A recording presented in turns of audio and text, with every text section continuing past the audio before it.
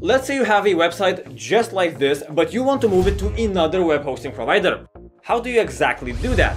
Well, in this video, I'll show you two methods how to migrate a website from one web hosting provider to another completely free of charge.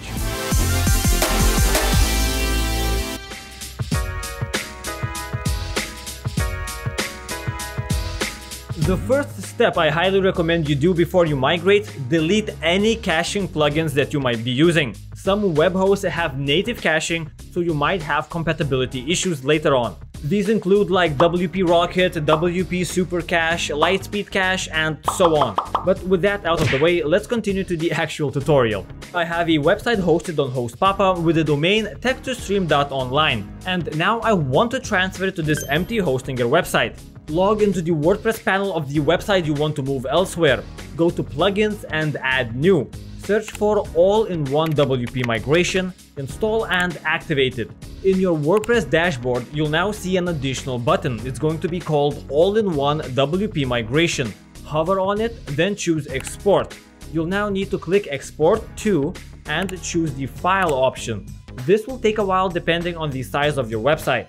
Once this compression is done, just click the download button and save it somewhere to your computer.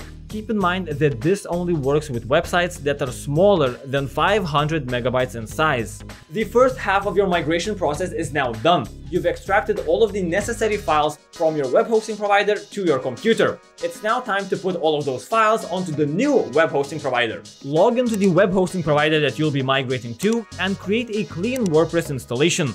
Log into your newly installed WordPress account and install all-in-one WP Migrate plugin again. However, the upload limit is just 64 megabytes now, but my file is 72 megabytes. I'll show you how you can raise this limit up to 500 megabytes for free.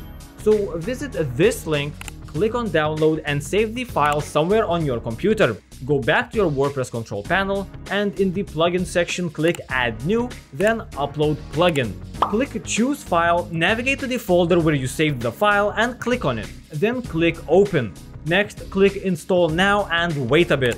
Once the plugin is installed, click activate, hover over the plugin, but this time instead of clicking export, you'll want to click import.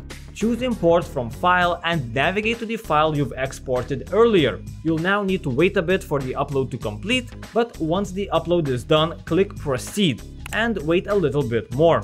One last step is clicking save permalinks structure.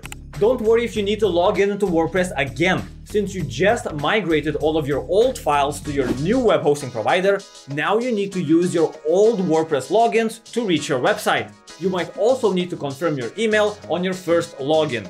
Once you're inside WordPress again, just choose post name and click save changes. And now if we would visit our new website, text2stream.com, everything is updated and working correctly. Okay, but what if you don't want to use a new domain name? You want to use the same old domain name that you already have. Well, what you need to do is you need to go to your domain name provider and update the name servers to point to your new web hosting provider. This process is generally different for every single web hosting provider, but in my example, I'll show you how to do it on Hostinger. It should be similar enough on every single other web hosting provider as well. Basically, if you buy a domain name from a provider like Bluehost, SiteGround, GoDaddy, Hostinger, Namecheap, basically anywhere that sells domain names, you'll have access to what's called a DNS, the Domain Name System. Currently, my tech2stream.online website is pointing to the HostPapa servers. If I want for the same domain to instead use my Hostinger hosting, I'll need to change this value. So I just need to press use default and update. Now both tech2stream.com and tech2stream.online will go to my Hostinger website, not the HostPapa one. It doesn't really matter where you bought your domain name. As long as you have access to the domain name system, you could use your domain name on any web hosting provider. For example, you could buy a domain name on Bluehost and use it on SiteGround, or buy one on Namecheap and use it on Hostinger.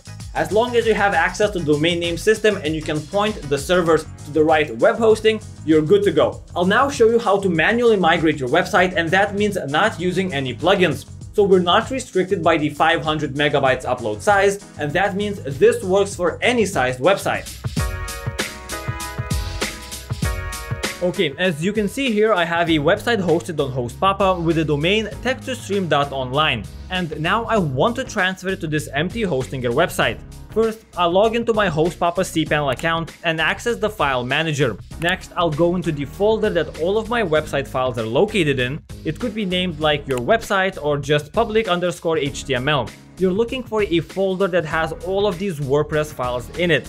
Click on select all and then compress. Choose zip archive. Let's name the file website-transfer and just press compress files click the newly created zip file and download it to your computer.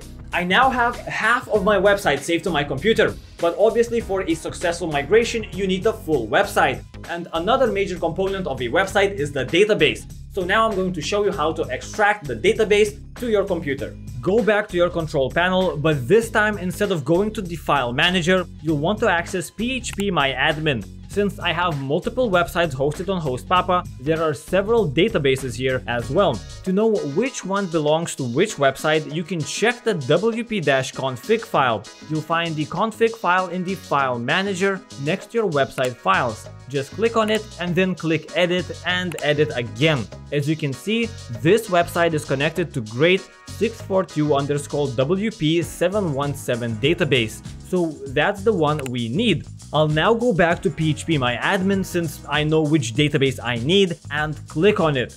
Scroll down to the bottom, click check all, then go into the export tab and click OK. So now I have all of the necessary files required for a successful migration stored onto my computer. It's now time to move all of these files onto a new web hosting provider where our website will sit. Again, I'll be using Hostinger as a new host just because I have a couple of plans on here that I'm not using at the moment and if you want to get yourself a Hostinger plan, I'll leave a link in the description down below. First thing you'll want to do is create a clean, fresh install of WordPress on your new host.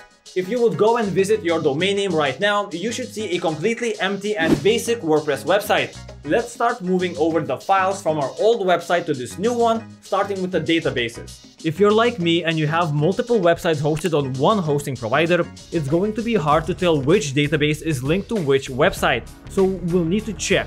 Navigate to the file manager of your new host and open up the wp-config file. Here we can see that this website is connected to this database. Once you know the name of the database you need, you can go into phpMyAdmin and start editing the correct database. Access it, click on check all and then choose drop. Don't forget to click yes. That means this database is now completely empty. I'll now upload the old database files into this new one. Click import and choose the SQL file that we created from our old web hosting previously, and then import it into this new database. Now we're going to do a very important step where many people fail when migrating their websites, and this all depends if you're going to use the same domain name or a new domain name for your website that you're migrating. If you're using the old domain name, you don't need to do anything with the databases. But if you're using a new domain name, it's very important that you update the database with new information. In your newly imported database, there's a table called options. Click on it. As you can see, it holds two values, site URL and home. If you're going to use a new name with your website like I will, update those two values here. If you have an SSL certificate installed on a new domain, use HTTPS. If you don't, use HTTP. Once this database stuff is taken care of, we'll need to upload our old content into our new site. So go to the file manager and first of all, save the wp-config.php file to your computer. By doing this, you'll need to do less editing later. Then click select all and delete everything that was created with a clean WordPress installation upload a zip file that you've made previously from your old web hosting provider, you'll now need to extract that zip file and delete it because it's not needed after the extraction is complete and the more useless stuff you have on your website, the slower it's going to be. Once the extraction is completed, delete the wp-config.php file and upload the one you saved previously. Since all the files are now uploaded to your new web hosting provider, all you need to do now is connect the database with the content of your website. Click on the config file in the file manager and press edit. Then scroll down until you see table prefix. This value is for your new database. However, since you uploaded your old database, you'll need to use the old prefix. To find the old prefix, you need to go into phpMyAdmin and log into the database. As you can see here, the prefix we need is wpk0 underscore. And that's exactly what we'll type into our wp-config file. Once updated, click Save and Close, and now, if everything's working correctly, you can visit your website and the transfer is now completely done. The absolutely last step you need to do in order to make sure everything's working smoothly is sync up the domain names. This is if you're now using a new domain name instead of the old one like I did in this tutorial. Inside WordPress, download a plugin called Go Live Update URLs, and once you have it installed and activated, go into Tools, then Go Live, scroll down, type in your old and your new domain names and click on Update URLs. This will sync up every single URL that has been mismatched by the transfer process.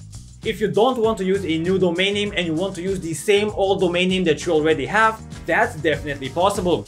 All you need to do is not make any changes to the database when it comes to the site URL and home sections, and you'll also need to update the name servers from your old web hosting provider to your new one.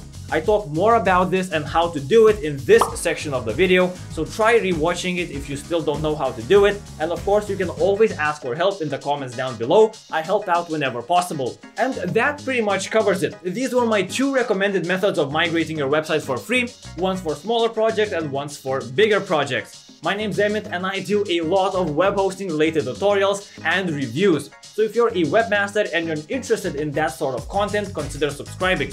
And as always, good luck making your websites.